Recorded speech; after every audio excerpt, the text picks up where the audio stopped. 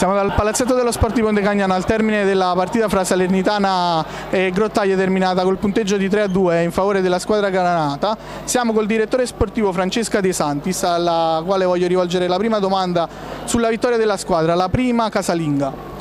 Sì, era importante oggi centrare tre punti per dare continuità anche al risultato di domenica scorsa della vittoria esterna di Taranto.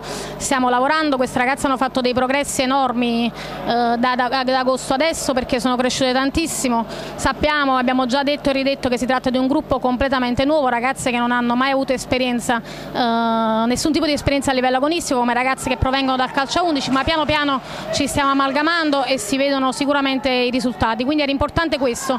Poi cioè, mi è piaciuta la reazione reazione del gruppo perché nonostante siamo passati in svantaggio due volte, per due volte siamo riusciti a racciuffare la partita e poi a vincerla.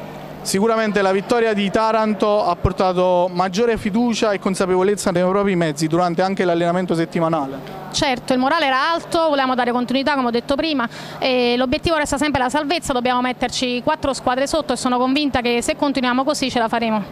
Quali gli obiettivi uh, della, della dirigenza, della società?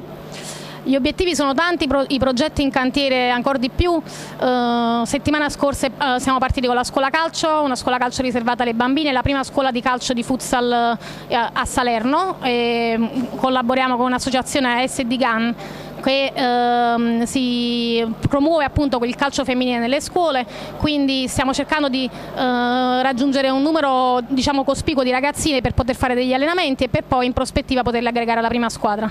Ok, grazie mille. Grazie.